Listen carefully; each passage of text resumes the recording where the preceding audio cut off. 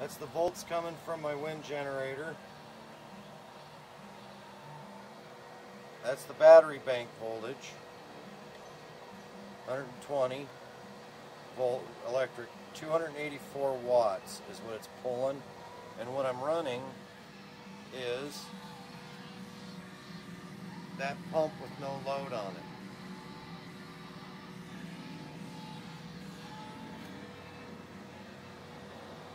So I'll let you guys out there kibitz tell me what's going on here.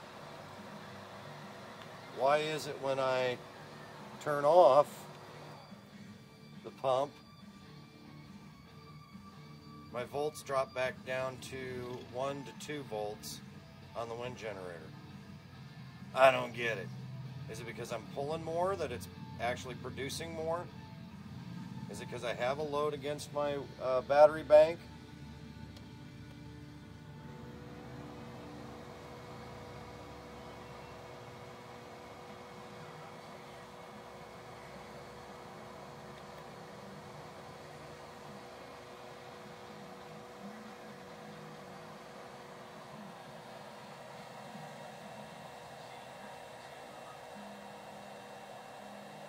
I don't get it.